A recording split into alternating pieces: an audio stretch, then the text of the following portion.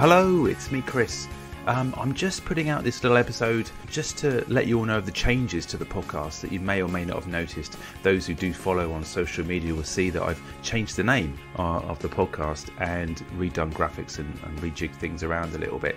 And if you've been listening to the previous episodes, you'll know that it's been quite difficult to secure guests uh, at the moment. There's lots of reasons for that. I think it's mostly because COVID restrictions being eased a lot, and so bands are playing again and venues are opening up. So people would normally have found themselves with some spare time in the evenings uh, to talk to me, uh, are now finding themselves back where they belong on stage or in the studio and doing what they, they do best. So, with that in mind, um, I've changed the name to the Indie Alternative podcast with me, Chris Holden, obviously, and uh, not moving away from Britpop or 90s indie, but just um, opening up other avenues, if you like.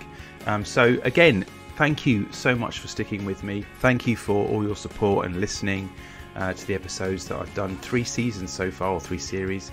And hopefully, there'll be more episodes between now and Christmas uh, or the new year.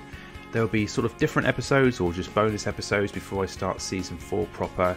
Um, and if you've got any ideas about who you'd like me to try and get hold of across the whole of the indie alternative spectrum of music, please let me know. Drop me a line. Uh, search for me on Twitter. You can search for Indie Alt Pod, or you can still search for Back to Britpop. It will still point you in the right direction. And the links to everything will be in the show notes, uh, as always.